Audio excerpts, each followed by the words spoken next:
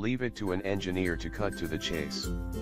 At the beginning of this project, said Yoshimoto Matsuda, head of development for the new Kawasaki ZX-10R, I made an announcement to the company, we don't develop any cosmetic features. In other words, lap times trounce good looks. Matsuda was speaking to a group of international journalists gathered in Barcelona, Spain, at an invitation-only unveiling of the Japanese manufacturer's new claimed 197 horsepower, 454 pound, 998 cubic centimeters sport bike, which Matsuda defined as more innovation, no compromise. Newly crowned World Superbike champion Jonathan Aurier, his teammate, former series champ Tom Sykes, and their respective crew chiefs, Marcel Duinker and Pierre Riba, also spent time on stage.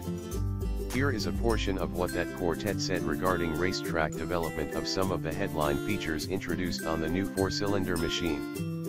1. Redesigned fairing with wider windscreen, handlebars closer to rider, I rode the 2015 version of the ZX-10R at the Isle of Man TT Parade lap, Aurier said.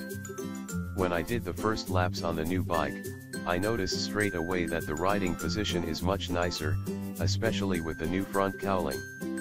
The Showa Balance free fork and Brembo brakes are more like my race bike. 2. Lighter crankshaft and primary gear, we have a very well balanced bike, Sykes said about the current model ZX-10R, but the inertia causes some problems that we aren't quite able to get around in terms of setup.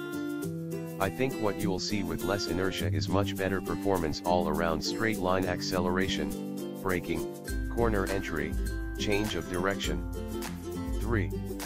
Steering head 7.5 mm closer to rider, swing arm 15.8 mm longer, the keys to success were consistency, Duinker said, which is something I was taught in my MotoGP years for Kawasaki, and understanding and solving technical problems on the track and getting the maximum potential out of the bike. In racing, we push technology to its very limits, and Kawasaki is using this technology for its production bike. 4. Electronics suite includes launch slash traction control, corner management, engine braking, and ABS, I've never experienced electronics on a street bike, Aurier said. Straight away, I was so impressed. In the back of my mind, I was thinking, when is ABS going to make it in top-level racing? I was having fun at the end of a photo shoot trying to do big, rolling stop pies, and it seemed almost impossible to get the bike really out of shape. From a safety point of view, it's really good. 5. Adjustable steering head and swing arm pivot, if you want to go fast on the track, Riba said, you have to make the bike really easy to ride the rider cannot be fighting the bike. Working closely with the factory makes it much easier to understand the limitations of the bike.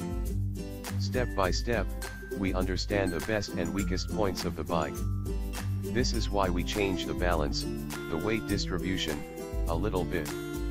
Together with all the new parts inside, we make the package much stronger than the other bike.